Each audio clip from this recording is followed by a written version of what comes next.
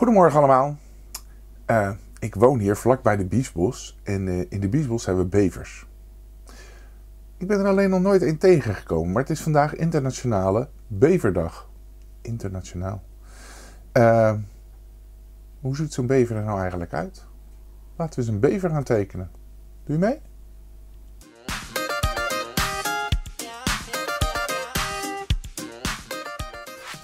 Ja, internationale beverdag. Maar uh, hoe ziet een bever er nou ook alweer uit, hè?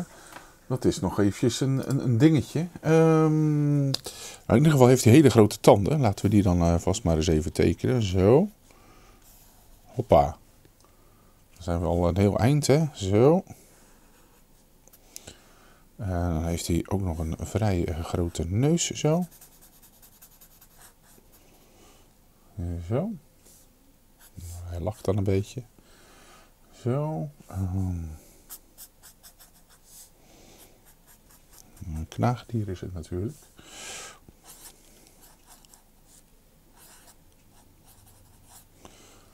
Ja, dat is wel leuk zo.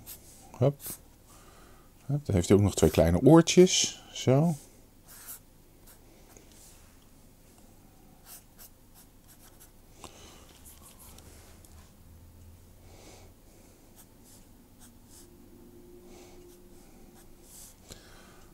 Zo is dat wel leuk, hè? Zo. Up, up, up, up, up. Um, nou, twee kleine pootjes. Twee kleine voorpootjes. Zo. En dan uh, ook een poten zo.